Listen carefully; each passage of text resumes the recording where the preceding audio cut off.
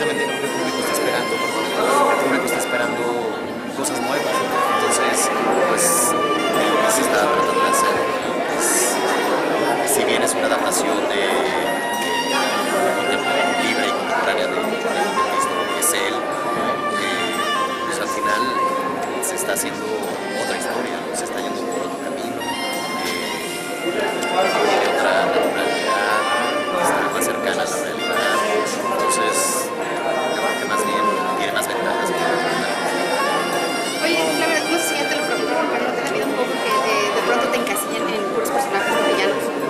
la verdad es que ya hago puros villanos.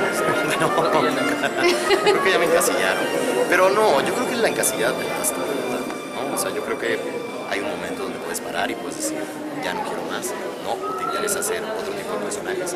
Pero la realidad es que en cine, por ejemplo, los personajes que he hecho han sido de buenos, ¿no? pero, pero pues han llamado más la atención los malos, ¿no? Y creo que son personajes muy interesantes y la verdad me, al- en- personalmente me ayudan muchísimo a exorcizar mi lado oscuro que tengo ser humano, claro. Entonces, a mí la verdad no me han aburrido.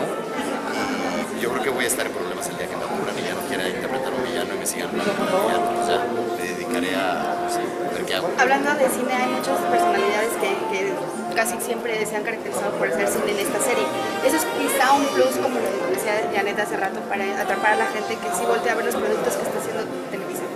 Pues yo creo que sí, yo creo que es un plus porque es gente que tiene años trabajando y gente muy profesional, muy talentosa sobre todo y que entiende el lenguaje perfecto, ¿no? Entonces creo que sí es un plus.